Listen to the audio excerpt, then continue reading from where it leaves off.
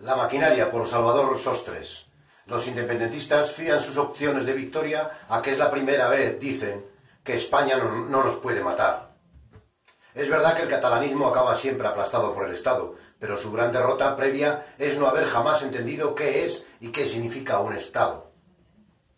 El gobierno usará la fuerza que necesite para imponer la ley y el orden, que es lo que legítimamente, legítimamente hacen las democracias cuando son atacadas. Contra el folclore, la maquinaria. Contra la desobediencia, la ley. Contra la desobediencia, la ley. Contra la revolución, la represión. Educar es reprimir, como sabemos los padres y los estados. Lo contrario de la libertad es el caos. Cualquier revolución contra una democracia es antidemocrática. La ignorancia de que es un Estado y que el concreto eh, y el concreto Estado de España es el dramático error estructural del catalanismo político que siempre ha calculado mal sus fuerzas y hoy se vuelve a equivocar. Europa no, tolerará, no tolerará muertos, dicen los independentistas, cuando la gran especialidad de la Unión es asistir impávida a los recuentos de cadáveres.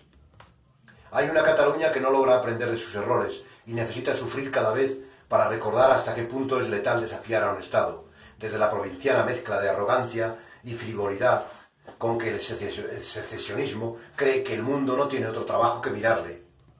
Europa es un club de estados que se ayudan entre ellos y que protegerán a su socio, que es España, aunque solo sea porque es el mejor modo de protegerse a ellos mismos.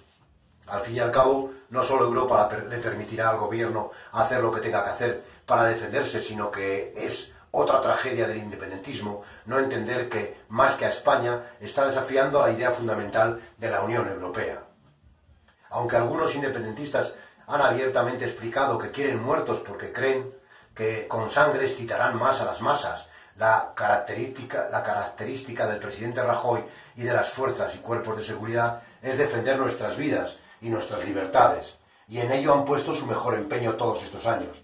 Pero es naif, tribal e invertebrado pensar que no tendrá un final francamente desagradable quien cometa la temeridad de ponerse en el camino de la, implacable maquinaria del Estado.